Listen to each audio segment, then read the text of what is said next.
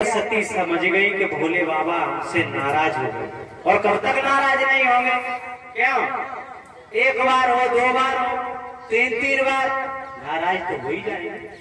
आज मैया सती चलती जा रही रास्ते में और कह रही है, मना रही है, भोले बाबा, आप थक गए हो। ऐसा करो जो अपना कमंडल है ना, ये मुझे दे दो। भोले बाबा बोले नहीं और कमंडल पकड़ा। भोले बाबा, और आगे चले। मैया सती कहने लगी, भोले बाबा हम मुझे ऐसा लगता है कि आप वास्तविक तो बहुत थक गए ऐसा करो, अपना जी त्रिशूल है ना ये मुझे दे दो। भोले बाबा फिर भी नहीं बोले। त्रिशूल भी दे दिया। आज भोले बाबा चलते जा रहे हैं, कैलाश पर्वत पर पहुँचे और हुआ क्या? वहाँ जाके एक घटना और घट गई। क्या? आज भोले बाबा ने वहाँ पहुँच पहुंचकर सामने साधी अचल समान पड़ी सती के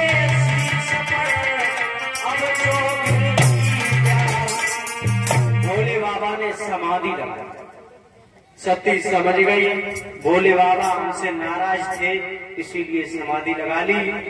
आज सती बड़ा परेशान है बार बार कहते हैं भोले बाबा मुझे माफ़ कर दो, मुझे क्षमा कर दो, मुझसे गलती हो गई है और रोती है, क्या कह रही है?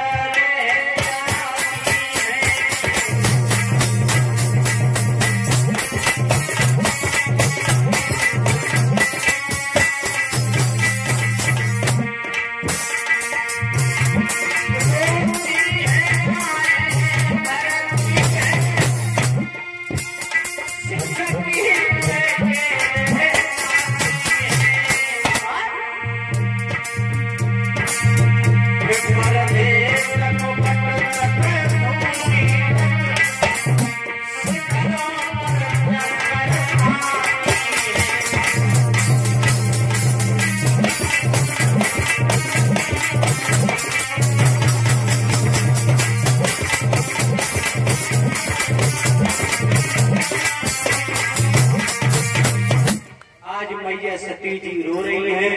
अब इधर उधर कैलाश पर कई चक्कर काट रही है। भोले बाबा ने तो समाधि लगा ली।